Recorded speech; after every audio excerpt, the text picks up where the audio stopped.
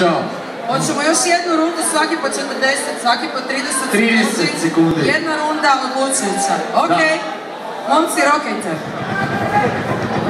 Pucaj! Sad prvi kreće Adam jer je Suicidal bio zadnji prvi. Zadnji prvi. Ja, ajmo ovak, ja, ja, a, a, ja, ja, ja, ja, ja ne kužim stvarno zašto Kanđija Kenja rundu mu je dao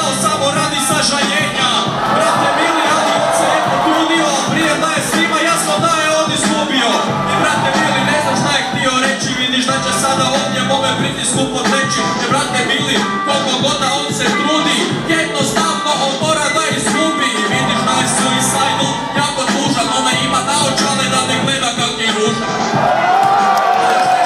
Neću, pobjedio sam brate, zato idem se liječi. Ja je nastavio rimu nakon što je prošlo i onda je ušao bit i već on prošlo vrijeme i onda još jedan.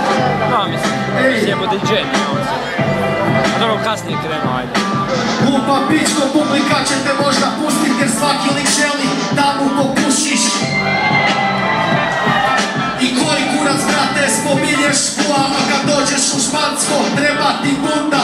Zato jer svima nama želiš biti jebena kuja brate trese te ko struja. I nemoj sada da moram prebite marš nazad u samo poradit krećnite Koji kurac ovdje ideš srat. Pa brate znaš da sam za tebe atentat.